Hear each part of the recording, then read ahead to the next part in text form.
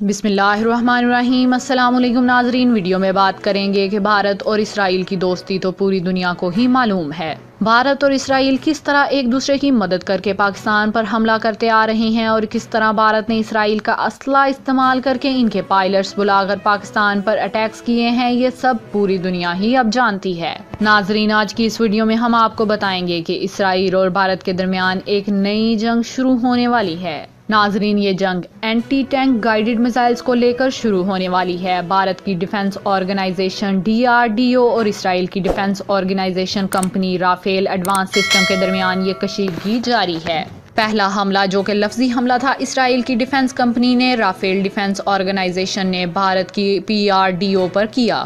اسرائیلی company کا یہ کہنا ہے کہ بھارت کے جتنے بھی اینٹی ٹینک گائیڈڈ میزائلز ہیں، وہ سیکنڈ جنریشن کے میزائلز ہیں، جبکہ اینٹی ٹینک میزائل جو کہ اسرائیل کی کمپنی بنا رہی ہے، وہ تھرڈ جنریشن کے ہیں۔ اس کو دیکھ کر ڈی آر ڈی او جو کہ بھارت کی ڈیفنس کمپنی ہے، اس نے اسرائیل کو کرارا جواب دیا ہے۔ اس کو دیکھ کر ڈی آر ڈی او جو کہ بھارت کی ڈیفنس کمپنی ہے، اس نے اسرائیل کو کرارا جواب دیا ہے۔ بھارتی کمپنی کا کہنا ہے کہ اسرائیل کے پاس اتنی طاقت موجود نہیں کہ بھارت کے میزائلز کا مقابلہ کر سکے۔ ناظرین، دونوں کمپنیز نے ایک دوسرے پر لفظی گولہ باری کرنی شروع کر دی ہے۔ اسرائیلی کمپنی کا یہ کہنا ہے کہ بھارت کے army chief general Bipin Rawat بھی اسرائیل میں موجود تھے اور اسرائیل کی کمپنی کے اینٹی گائیڈڈ میزائلز بھی چیک کیے انہوں نے۔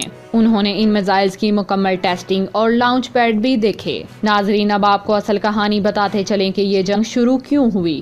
ناظرین، بھارت نے اسرائیلی company Rafael advance defence system کو تین ہزار دو سو بتیس کروڑ کا ٹینڈر دیا تھا، جس کے نتیجے میں اسرائیلی کمپنی نے بھارتی فوج کو آٹھ ہزار تین سو چھپن اینٹی گائیڈڈ میزائل بنا کر دینے تھے۔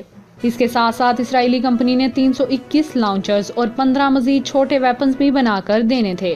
یہ پروجیکٹ اور یہ ٹینڈر بھارتی حکومت نے دو ہزار سترہ میں اسرائیل کو دیا تھا، لیکن آج ڈی آر ڈی او نے بڑا دعویٰ کیا کہ اس طرح کے میزائلز مزید کم داموں پر بھارت میں ہی بن سکتے تھے۔ تو پھر کیوں اتنی زیادہ رقم بھارت اسرائیل کو دے؟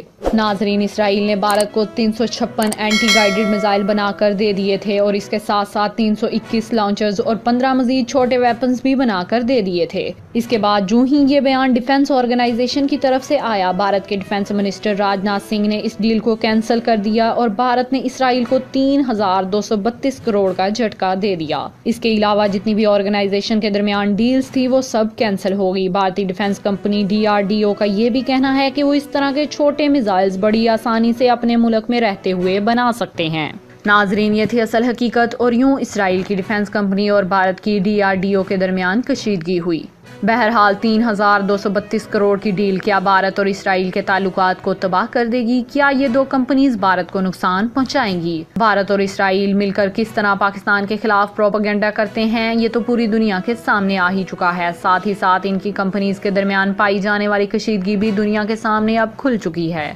ناظرین، یہ تھی آج کی ویڈیو۔ اس حوالے سے آپ کا کیا کہنا ہے؟ کمنٹ سیکشن میں اپنی رائے کا اظہار ضرور کیجیے گا۔ اب تک کے لیے اتنا ہی۔ جزاک اللہ۔